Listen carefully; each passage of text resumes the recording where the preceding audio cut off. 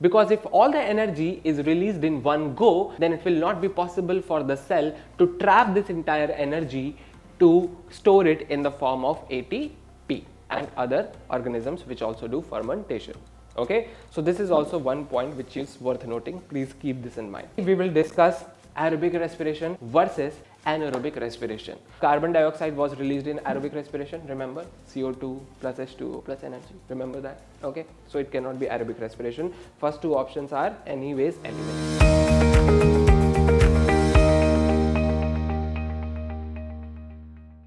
Hello everyone, my name is Shivansh Gaur and welcome to ATP STEM.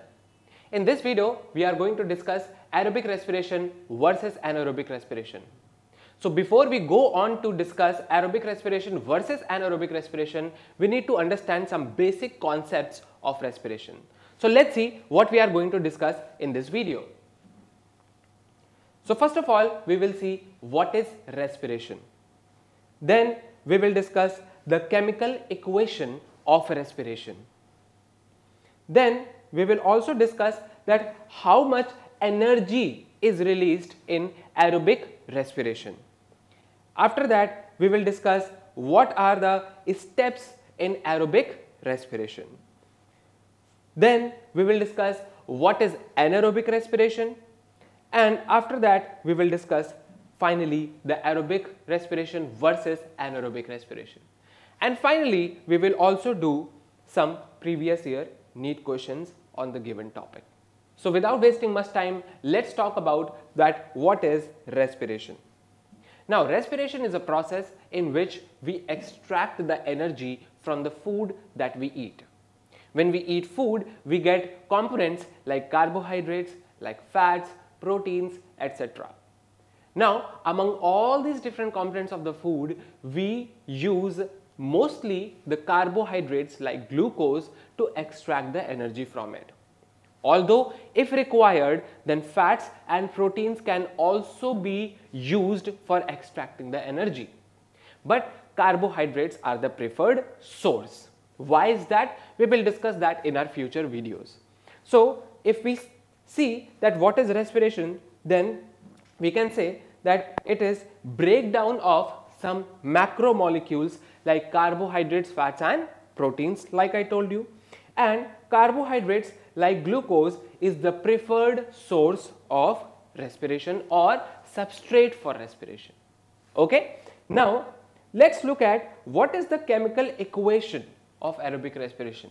Because glucose as we know is a 6 carbon compound right? It is C6H12O6 now in the presence of oxygen when we are talking about aerobic respiration we are of course talking about the presence of oxygen there right? So what happens in aerobic respiration? Let's see so here we can say that the complete combustion of glucose that is when glucose is completely oxidized in the presence of oxygen right then we get carbon dioxide we get water and we also get energy right. So let's see what is the chemical equation here we can say that it is C6H12O6 plus oxygen and we get carbon dioxide water and energy. Now this energy most of it is released in the form of heat. But we trap this energy which is released and we store this energy in the form of chemical bonds in a molecule called as ATP adenosine triphosphate. ATP okay? Now see here how are these ATP produced? Are they produced like in one go? Like in one step? Like glucose comes oxygen comes combustion, boom, energy is released and all that energy is extracted to form the ATP. Is that the case? No, right? The energy is released in small, small steps, right? And we need to understand each of these steps which takes place in the different part of the cells, right? Because if all the energy is released in one go, then it will not be possible for the cell to trap this entire energy to store it in the form of ATP Therefore, this is done in small small steps so that maximum energy can be stored in the form of ATP. So, one thing is clear that the aerobic respiration takes place in multiple step. It is a multi-step process, it is not a single step process. Okay? So, see here The energy released in aerobic respiration is done in small steps. The first step being glycolysis. Glycolysis. Glycolysis takes place in the cytoplasm and oxygen is not required for this process to take place. Now one thing is very clear that if for glycolysis oxygen is not required, right, then glycolysis can take place in anaerobic respiration as well. Yes or no? Because in anaerobic respiration oxygen is not there, like oxygen is not present. So does glycolysis require oxygen? No, right? So glycolysis is that process which is common to aerobic as well as anaerobic respiration because it does not require oxygen to take place, right? It takes place in the cytoplasm and where one molecule of glucose is broken down into two molecules of pyruvic acid and we also have net gain of 2 ATP in this process that is we get two molecules of ATP here.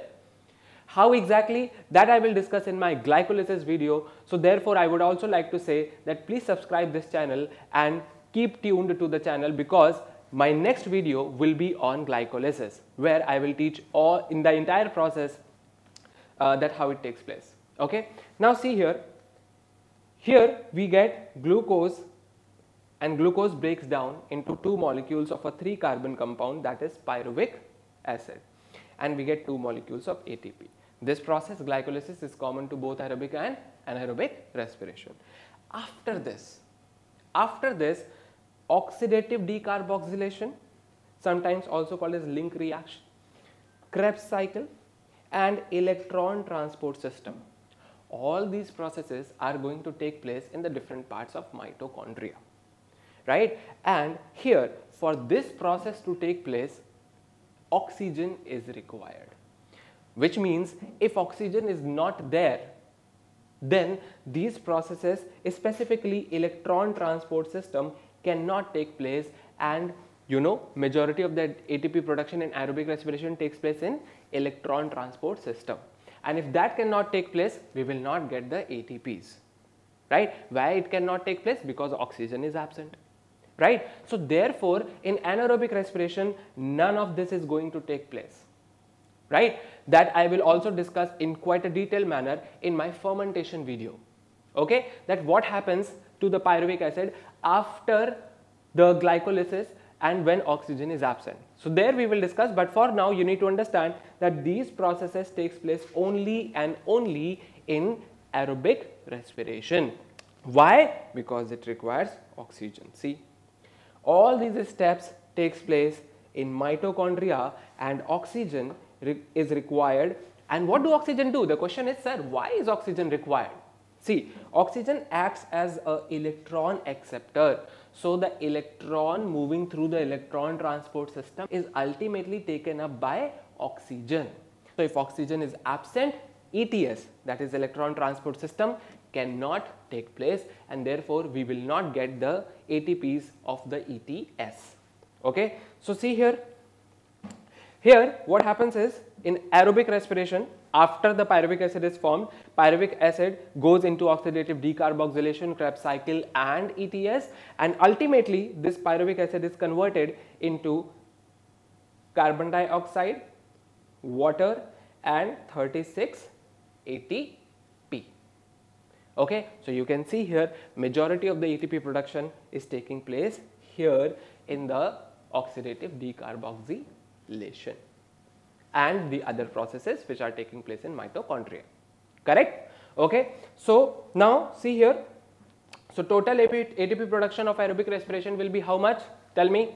We got 2 ATP in the glycolysis. We got 36 ATP in the processes taking place in mitochondria. Total we get 38 ATP.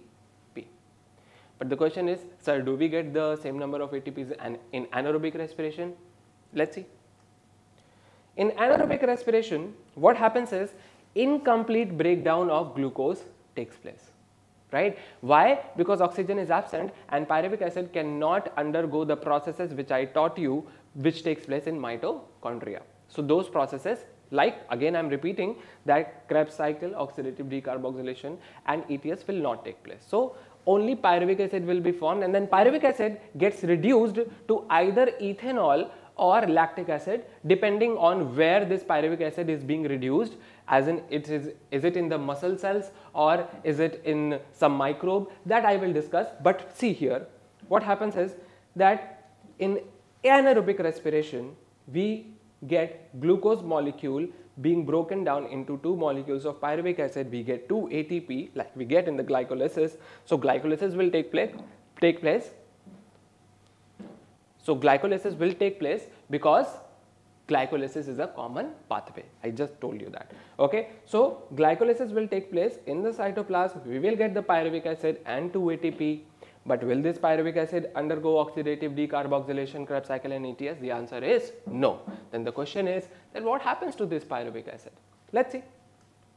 Here this pyruvic acid can either get converted into ethanol and carbon dioxide like example of a microorganism in which this process can take place is yeast. There are other as well, but yeast is a very prominent example here which is responsible for fermentation of pyruvic acid right or glucose and we get ethanol there. The enzyme which is responsible for this particular process is pyruvic acid decarboxylase and alcohol dehydrogenase. Please remember the name of these enzymes. Next is Next possibility is that it can form lactic acid. Now lactic acid can be formed under anaerobic conditions in bacteria or muscles, right. For the enzyme responsible for this is lactate dehydrogenase. But one thing which is worth noting here is that in both of these processes, in both of these processes you can see we are not getting any ATP right. In first one we are getting ethanol plus carbon dioxide right which can happen in yeast and in the next one we are getting lactic acid right in bacteria and muscles again we are not getting any ATP right. So which means that no further ATP production takes place in anaerobic respiration okay. The ATP produced in anaerobic respiration is the only one which is produced during so you have to keep that in mind. One more thing, when lactic acid is produced here, right, only lactic acid is produced, carbon dioxide is also not produced, okay. Carbon dioxide is produced only when ethanol is produced during fermentation in yeast and other organisms which also do fermentation, okay. So this is also one point which is worth noting, please keep this in mind. Now finally we will discuss aerobic respiration versus anaerobic respiration. So what have we learned till now? Let's quickly summarize it. The first thing that we can say about aerobic respiration is that it is complete oxidation of glucose, right? Whereas in anaerobic respiration, it is incomplete oxidation of glucose. Second point that we can say is it takes place in mitochondria and cytoplasm both which means cytoplasm is also involved when glycolysis takes place and mitochondria for the other processes right? Therefore in aerobic respiration mitochondria and cytoplasm both parts of the cell are involved whereas in anaerobic respiration it only takes place in cytoplasm right? It only takes place in cytoplasm because only glycolysis takes place and the pyruvic acid which is formed it gets reduced to lactic acid or ethanol. Clear? Okay Next point is that here which I already told you total 38 ATP are produced. Okay? 36 and plus 2 of glycolysis. Whereas here we get only 2 ATP only 2 ATP are produced right which are produced during glycolysis right? So we get only 2 ATP during anaerobic respiration right. So, one thing is very clear here that out of aerobic and anaerobic respiration which one is able to extract the energy more efficiently from glucose molecule it is aerobic respiration because from the same one molecule of glucose in aerobic respiration we are getting 38 ATPs whereas in anaerobic respiration we are getting only 2 ATPs. Okay. Now there is time to do some previous year NEET questions on the given topic. What I will do is I am showing you the question, I am reading the question, then you can pause the video you can give your answer in the comment box. I will also personally read all your comments and see who gave the correct answers, right? And then you can see the correct answer which I will discuss here. So let's see. The question is that energy releasing metabolic process in which substrate is oxidized without an external electron acceptor. So substrate is getting oxidized but electron acceptor is not there. What is that process called? Come on, give the answer. We have the options glycolysis, fermentation, aerobic respiration, photorespiration. We just discussed that fermentation that is anaerobic respiration is where electron acceptor is not present only glycolysis takes place right so the correct answer here would be fermentation right now, do the next question everyone. See, what is the question here? In which one of the following processes carbon dioxide is not released? This is very obvious. We just discussed this. Come on, guys, answer in the comment section, right? And see if you got the correct answer. So the correct answer here would be, let's see the options first. Aerobic respiration in plants, aerobic respiration in animals, alcoholic fermentation, lactate fermentation, right? one thing is clear that uh, carbon dioxide was released in aerobic respiration remember? CO2 plus H2O plus energy remember that? Okay? So it cannot be aerobic respiration. First two options are anyways eliminated. Now we are left with alcoholic fermentation and lactate fermentation right? Let me take you quickly back to what I just discussed with you guys right remember this point where I was telling you in anaerobic respiration pyruvic acid forms what? Ethanol plus carbon dioxide right? Whereas when pyruvic acid gets reduced to lactic acid here we just get lactic acid. We do not get carbon dioxide or energy. So the answer is very obvious isn't it? Right? The correct answer would be option D right? Here the correct answer was B lactate fermentation D is the correct answer right because there we don't get any carbon dioxide Okay. Now, what does this lactic acid do when it gets accumulated in our muscles and everything that I will discuss in my fermentation video. My next video would be on glycolysis where I will discuss glycolysis like never before, right? So, we will do that in our next video, but till then, please subscribe this channel, right? Press the bell icon as well so that you get the notifications whenever ATP uploads a video, right? Till then, take care, bye-bye, thank you.